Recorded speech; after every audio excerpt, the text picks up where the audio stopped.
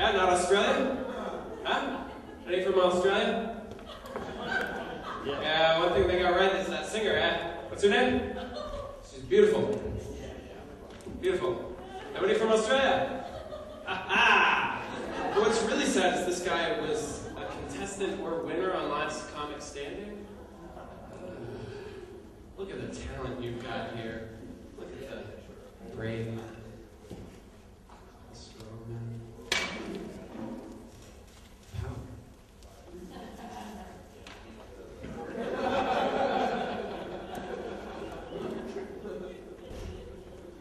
Hold on, this is gonna help me. We're changing a tape, by the way. But I'll just plug up this ear. And Katie, you're gonna be my only hearing in that one. Hey guys. Alright. Hey Katie. Menstruating. No! Alright, our next comedian up is uh, another Columbia student.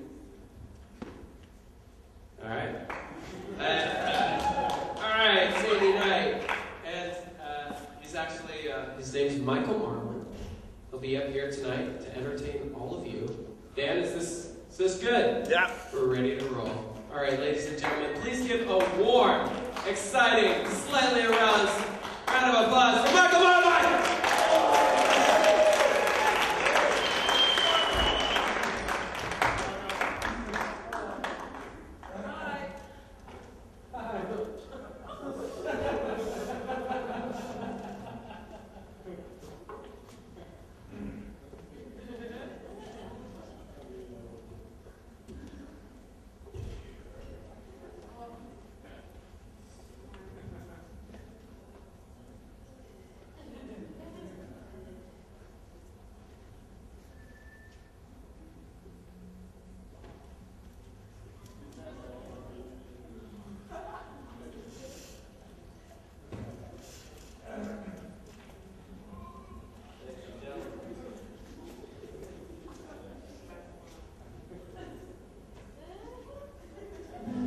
Can you hear that? Cool. All right. Um, hi. Uh, my name is Michael Marlin, and so, um, so I thought I've uh, never done a stand-up before, and I thought, uh, why start? So I would play some guitar, and um, for no, I don't write songs.